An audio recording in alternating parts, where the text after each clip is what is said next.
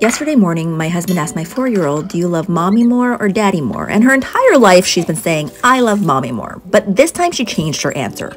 So she says, Daddy, I love you both equally. I look up from what I'm doing because I'm surprised, and then she looks at me and she says, Don't worry, Mama, I'm just showing Daddy some kindness.